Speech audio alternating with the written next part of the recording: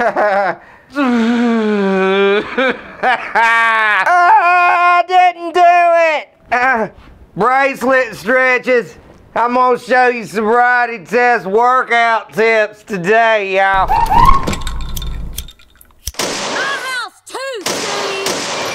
When you get hooked up on the regular like I do, it can fuck up your muscles. You ever have a cop handcuff your neck to your ankle? You gotta stretch for that shit. Today I got three sobriety test workouts to keep you in top drunk testing shape. First off, you wanna be fucked up for this workout, let's take a shot.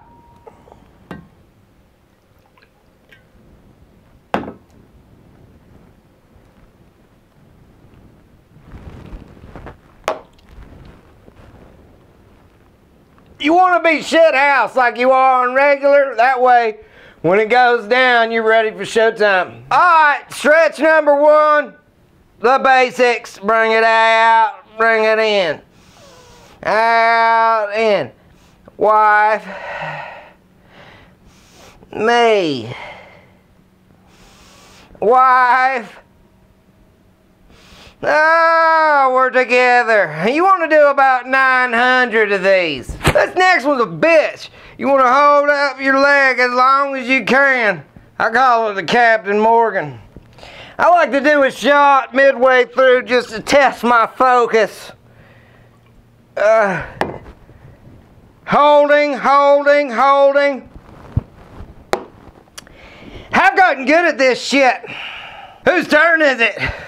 This last one I like to call bracelets. And you'll need to know this one if you fuck up the first two. You want to take your hands, put them back, thumbs together. Ah, breathe. It's good to have a mantra.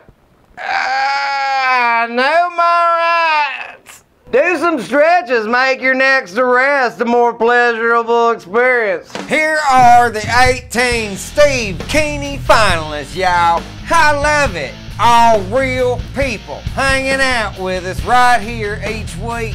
I want to say thanks to all y'all hot ass girls who sent me these pics. Some of you sent me your titties, but YouTube and Facebook, they hate titties. I'm gonna do the Steve Keeney contest again next year at the end of the summer. Go to IKnowMyRights.com right now to vote for your favorite. While you're there, download a theme song and make it into a ringtone. Alright, cops are in your bus, fuckers.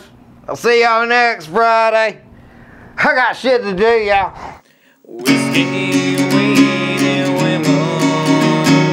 Whiskey,